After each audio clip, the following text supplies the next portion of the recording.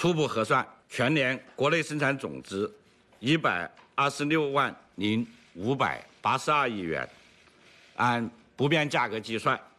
比上年增长百分之五点二。分产业看，第一产业增加值八万九千七百五十五亿元，比上年增长百分之四点一。第二产业增加值四十八万两千五百八十九亿元，增长百分之四点七。第三产业增加值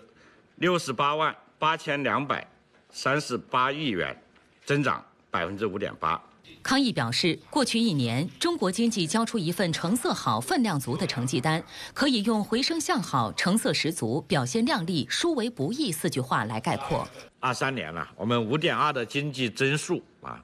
不仅高于全球啊百分之三左右的预计增速，而且呢，在世界主要经济体中也是名列前茅。我国经济啊，二三年对世界经济增长的贡献率啊，有望超过啊。百分之三十，是世界增长、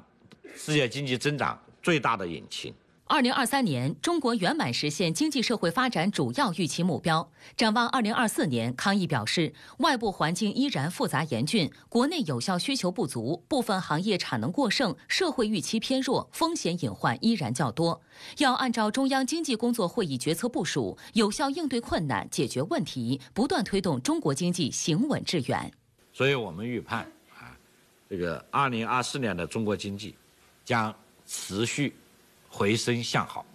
我们今年啊，中国经济一定能够迎难而上啊，砥砺前行，实现更好的啊这个值得提有效提升量的合理增长。